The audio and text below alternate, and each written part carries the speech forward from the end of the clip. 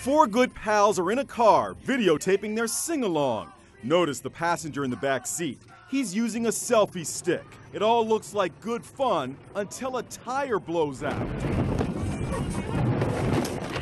Is everybody okay? We're not posting that video. Hey, can I get a selfie? Tom Hanks took his selfie stick to take one last selfie with David Letterman. We get it up above the chin, above the chin.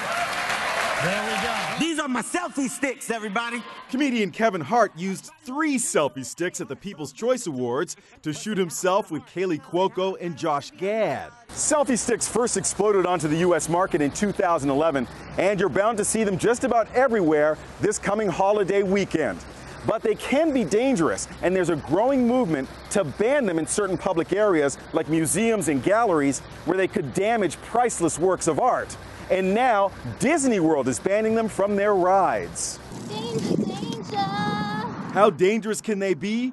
Well, this woman is riding a bike with one hand and holding a selfie stick with the other. Check out this motorcyclist. His passenger is holding a selfie stick at high speed and in traffic. And this snowboarder is wielding a selfie stick on a crowded ski slope. That can't be safe. So, who came up with the idea for selfie sticks? Just show common courtesy to others. We tracked down the inventor, Wayne Fromm, who came up with the idea during a family vacation in Italy. Disney is saying they do not want these selfie sticks on rides. I agree with them. I think that's prudent. I think it would be very dangerous. You know, you lose uh, the velocity of the ride in your hand. You know, you could hit somebody or let it go, and all of a sudden it's going to fly into the crowd.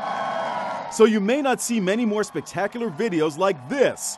Rock festivals like Lollapalooza just announced that it is banning selfie sticks.